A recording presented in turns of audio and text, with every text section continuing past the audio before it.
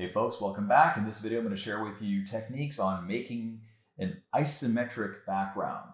And we're going to be learning about two keyboard shortcuts that I think are going to be very useful in terms of speeding up your workflow. So let's go ahead and get started. I've got a blank canvas here, and I'm going to start off on a blank layer. I'll use my brush tool, and I'm just going to go ahead and create a line. So this is going to serve as the grid. We're going to learn about the two keyboard shortcuts that I think are going to help you quickly make this grid. And in previous videos, I've talked about making grids in other ways. Um, there's more than one way to skin that cat. So once you've drawn that line, what I'd like for you to do is to hold down the Option Command T key, and then you're going to hover your cursor over to where it looks like an arrow and to simply drag down to whatever distance you want. If you want to constrain that by holding down the Shift key, that's cool too. Then you're going to hit enter to commit that change. Once you've done that, you're going to hold down the Shift Option Command T key. And as you keep doing that, notice that it just makes multiple, multiple copies.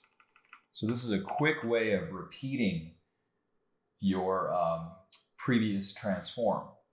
Now I can merge all of these layers together by holding down Command E. And I've got basically a set of horizontal lines. Now what I can do is I can hit the transform tool, I can right click and I can choose skew. And what I'll do is I'll just skew this downward like so.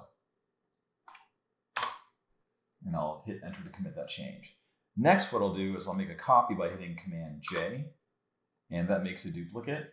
And I'll hit Command T to transform it, and then just flip horizontal. So right away, you can see that I've got the making of a isometric grid. And at this point, what I can do is I think I might need to reposition these up a little bit. And that angle of skew will determine the angle of your isometric grid, right? So in this case, you might be looking at this grid and saying, well, it's, it's too skewed. You can always adjust the amount of skew. So that's a variable that you can control. Once you have that, you're just gonna merge these two layers and let's just drop the opacity by hitting the V key, gets us back to the move tool, and I'll type in 4 for 40%.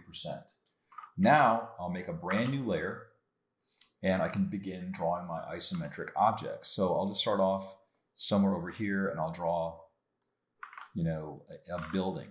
And I can follow these lines.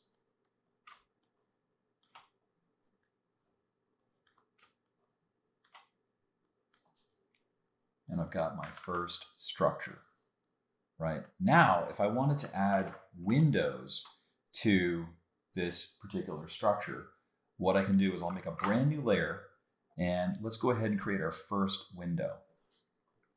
And you can make it as fancy as you want. I'll repeat the same technique that I showed earlier about the grid. What we're going to do is we're going to hold down the Option Command T key. And we're going to uh, move the object down.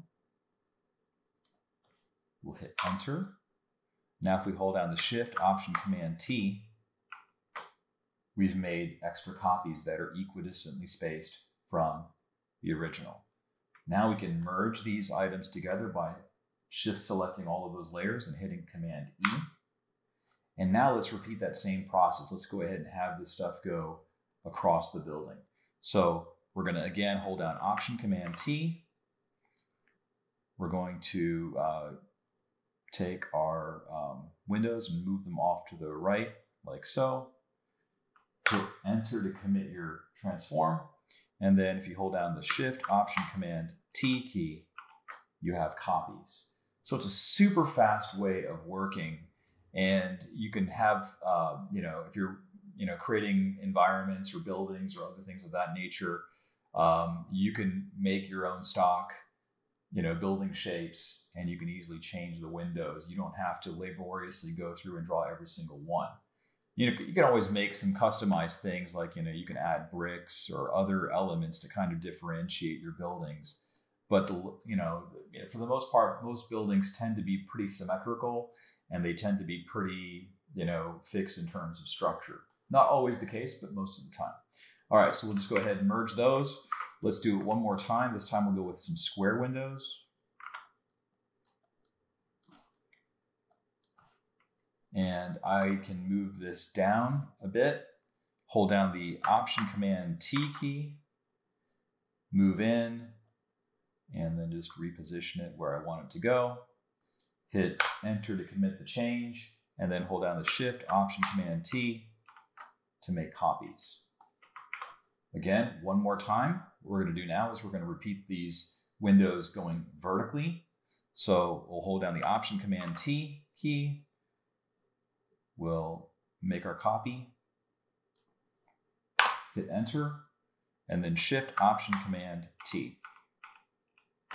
So great way to make isometric objects relatively quick, all within Photoshop, super useful. It'll save you a ton of time, especially when you're trying to build, you know, like say a, a city uh, scape or some kind of a neighborhood.